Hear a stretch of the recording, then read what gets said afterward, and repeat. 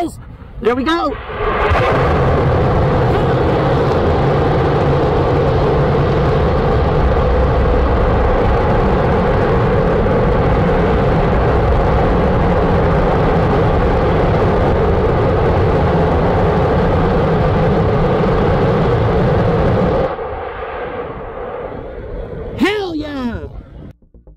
I gotta tell you, even though this wasn't a static fire of a particularly large rocket, this moment represented a highlight in my professional career because I got to witness something that virtually no other journalist saw the second static fire of the RFA 1 rocket. And let me tell you something, it was an incredible thing to see, especially given the fact that I was about two kilometers away from the static fire at the time absolutely deafening at that kind of distance, even if it was a pop bottle rocket compared to Starship. That being the case, I was really optimistic for the future of UK spaceflight, even though Rocket Factory Augsburg is a German company. This was a UK spaceport, a spaceport with many customers, many potential launches out of Britain, something that has never happened in the history of spaceflight, and something that, in my opinion, desperately needs to happen. All of that being the case, though, the future of sovereign British spaceflight is still in a state of extreme peril. It's just not receiving the kind of funding it needs in order to have a sustained and competitive spaceflight industry in this country compared to the other enormous multi billion dollar industries that they're going to be competing against, even with fellow European nations like Germany, Italy, and France, who invest far more money in their spaceflight industries than Britain does. However, there is hope on the horizon. A committee formed by the present government in Scotland made a number of recommendations recently when it comes to sovereign British spaceflight and also Saxavord Spaceport. And the recommendations that they made, if they are followed by the current administration, will transform British spaceflight in a huge way. Why? Because we're talking about a massive investment, hundreds of millions of pounds, if this committee's recommendations are followed. Good morning, spaceflight enthusiasts, and welcome to a special Angry Bulletin. Some very interesting news that became public only a few days ago. Something I actually would have brought to you a little bit earlier, but all of my travel combined with the Mars life news kind of interfered with all of this, but definitely something that I want to make sure you folks are aware of. For the first time, the UK government seems to be getting very, very determined to achieve a sovereign launch capability, something that I and other advocates of UK spaceflight have been talking about for a very long time. But for a change, the government is now talking about a substantial investment. And this was put together by a committee in Scotland, a government committee in an official capacity who researched the UK's capabilities, especially when it comes to satellite deployment, because many, many satellites are manufactured in the United Kingdom, especially in Scotland, and yet virtually all of these satellites, well, actually 100% of these satellites right now, are deployed by non UK launch providers, primarily the United States. Prior to the Ukraine war, the Russians deployed a lot of these satellites, really just not a great thing for the UK to be dependent on other nations to get their satellites up into space.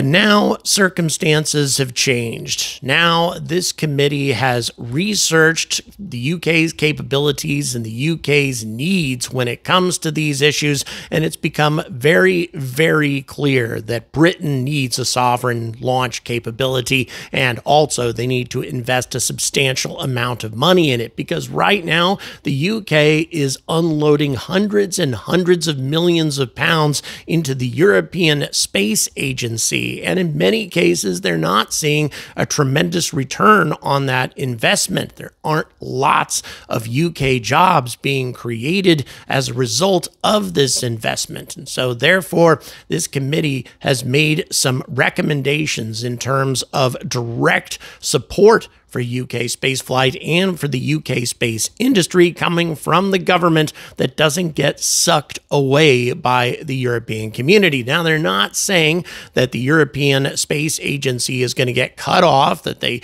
don't want to support ESA anymore or anything like that. ESA has accomplished some amazing things in the past, but still, it's time for Britain to support their own spaceflight industry, as Germany does, as Italy does, and especially as France does. And given that the size of the UK's economy definitely rivals France and actually exceeds Italy's, it's a bit ridiculous for Britain to not have their own sovereign capability.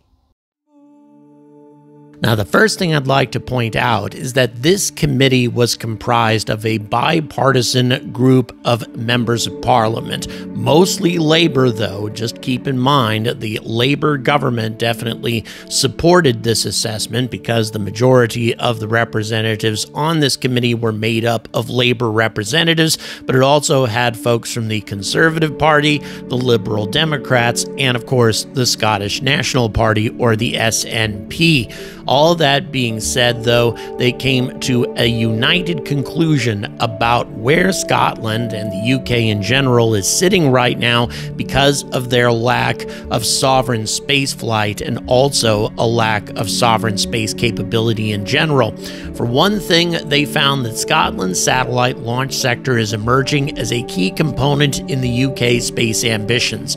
Five of the UK's seven developing spaceports are located in Scotland, including, of course, Saxavord in Shetland, reflecting Scotland's strong positioning to serve a growing global demand for small satellite launches. Scotland's unique location and existing expertise in building satellites makes it especially well placed to offer end to end space capabilities, from manufacturing to launching and use of satellite data. However, despite this strong potential, no vertical orbital launch has yet occurred from UK soil. There's been a horizontal launch, of course, from Spaceport Cornwall, but nothing vertical.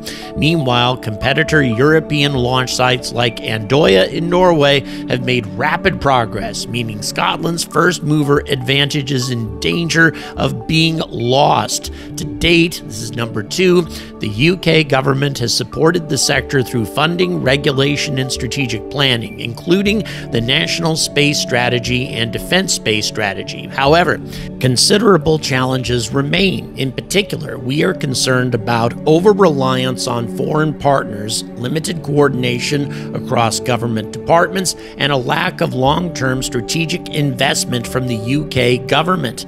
Number three, while Scotland has the potential to become a global leader in small satellite launch, public investment in Scotland's launch sector is relatively low compared to other European nations. This puts Scottish spaceports at a disadvantage. The sector's potential will only be realized if the UK government commits to long term coordinated support. We therefore call for a more sustained financial backing and for the government to act as a long term customer to help secure the sector's commercial viability. Number four, we make a number of recommendations to help achieve this, including sustained investment and the UK government becoming a customer of domestic launch services. We also call for improved cross departmental coordination and for the government to broaden its funding approach beyond research and development to include support for manufacturing and commercialization. The report also identifies Saxavord as being the most advanced spaceport in terms of development so far. A full launch attempt, either orbital or suborbital, has not yet been conducted at the site, however, following the decision by the CAA to grant launch company Rocket Factory Augsburg or RFA a launch operator license in January of 2025. It is expected that RFA will conduct an orbital launch attempt from Saxavord this year.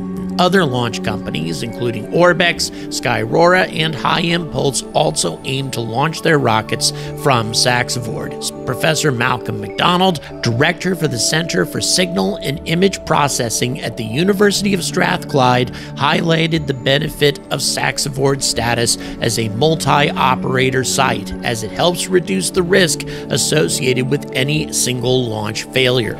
The report, however, also highlights the rather anemic investment that the UK government has made in Scotland spaceports and in sovereign spaceflight in the UK since 2019. Only 97 million pounds have been invested, with a further 37 million pounds invested by the Scottish government. This includes an award of 10 million pounds to SaxaVord Spaceport to support Rocket Factory Augsburg to launch from their site 20 million pounds to the UK launch company Orbital Express Launch Limited, also known as Orbex, to build and launch a rocket from Scotland. I think it's pretty clear that in spite of the incredible things that the UK has been able to do with relatively modest investments, this is not enough to fund space flight, not even close. They need a lot more seed money than that in order to make this work. And hopefully, that's something the government's going to recognize after this report. Now, Orbex told the committee that they and the wider sector face a competitive disadvantage compared to European partners who receive substantially more government support. Orbex cited 2023 research, which highlighted that France is investing four times more in civil space projects in the UK, Italy investing triple, Germany investing double, and Belgium Belgium investing double. They said a modest increase in UK government investment in space can take the sector a long way, which would help them gain a comparative advantage against European partners and, further than that, be competitive at a global scale. Orbex is concerned that the apparent disparity in government support creates an uneven playing field, making it more difficult for them to compete with better funded European counterparts. Furthermore, Orbex has called for greater investment in the UK Space Agency. Orbex said that with greater investment, His Majesty's Treasury could help catalyze private capital and ensure Scotland and the UK remains competitive in a rapidly evolving industry. Orbex also argued that if this commitment does not happen, Scotland risks being left behind and losing out on economic security and technological advantages to better prepare global competitors. The committee also highlighted a rather anemic investment in infrastructure for these spaceports, especially SaxaVord, which is operational but still doesn't have the necessary infrastructure to support a considerable number of launches. For example, in August of 2025, the CAA granted Scottish rocket maker Skyrora an operator's license to fly up to 16 missions a year from SaxaVord Spaceport. That's a Good news, right? Well, the current license is limited to suborbital launches of an 11 meter tall rocket, but despite Skyrora becoming the first UK based rocket company to receive a launch operator license, the company have indicated that they may need to look abroad for launch sites for its vehicle due to the limited availability of domestic launch facilities. The announcement of Skyrora's license marks a significant milestone, but the company's need to consider overseas options for launch demonstrates the risk that Scotland may not be able to capitalize capitalize on its geographical and regulatory advantages unless domestic capabilities are rapidly scaled up to meet industry demand. So the report makes a number of recommendations, but this is the one that stood out to me. Quote, to ensure the long term success and competitiveness of launch sites in Scotland's space sector, we urge the UK government to incorporate space funding within its broader economic growth ambitions. This must go beyond ad hoc funding and reflect a sustained strategic commitment, providing the clarity, confidence, and stability that the industry needs needs to scale capabilities and attract international customers. A clear signal of long term government support will not only level the playing field with better funded European counterparts, but also position the UK as a serious contender in the global launch sector. And Saxavord Spaceport, which by the way shared this report with me, were clearly pleased with its contents. This is what Scott Hammond, CEO of Saxavord, had to say. Quote, I have been saying for a long time the government needs to up its game and get more fully behind the satellite launch sector, which with 10,000 small satellites expected to be launched in the next decade is as exciting a new growth opportunity as any. Other countries such as Norway, and this is truly international playing field, have provided much more financial support to their sovereign launch capabilities, and we need to follow suit in order to gain a significant share of a market that will be worth 28 billion US dollars and secure assured access to space for the UK. It is particularly pleasing that the committee recommends that the UK government should broaden its funding approach and become a long term customer of, as well as an investor in, domestic launch services. This should be for both civilian and military satellites. I also welcome the committee's recommendations in relation to the Ministry of Defense, which it insists should integrate defense priorities into the launch sector and prioritize the procurement of homegrown responsive launch services. Let's hope that the government at Whitehall agrees with this committee in Scotland.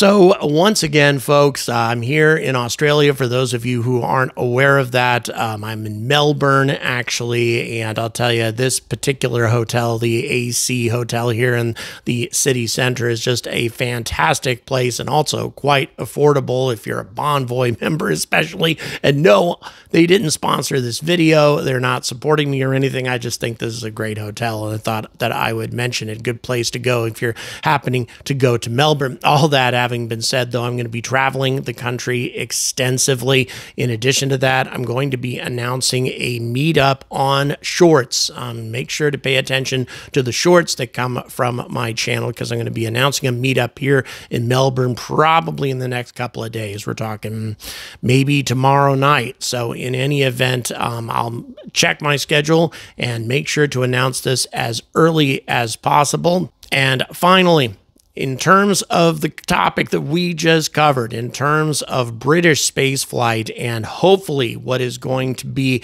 a promising future for sovereign UK spaceflight. If you want this type of content to continue, if you'd like me to continue covering it, because it is a bit of a niche topic, not tremendously popular compared to others. And so the YouTube algorithm will say that nobody is going to be interested in watching this and they're not going to promote it very much. The only way to beat the YouTube algorithm is with direct viewer support like Patreon. So please check the description for ways to support this. I will make sure that you folks are kept up to date on upcoming launches from Saxavord. At least one, possibly two launches before the end of the year. Can't wait for that to happen. So until next time, stay angry about space.